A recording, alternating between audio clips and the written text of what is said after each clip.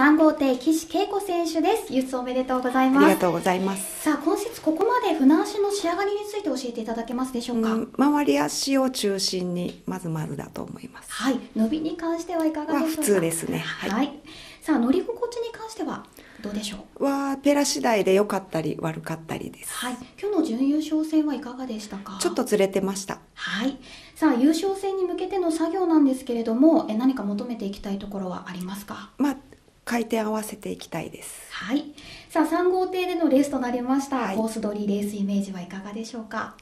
まあスタートして流れで考えます。はい。さあそのスタートなんですけれども、今節ご自身との関との比較はいかがでしょうか？関とは合ってます。はい、わかりました。さあそれでは最後にファンの方に向けて一言お願いいたします。はい、精一杯頑張ります。応援お願いします。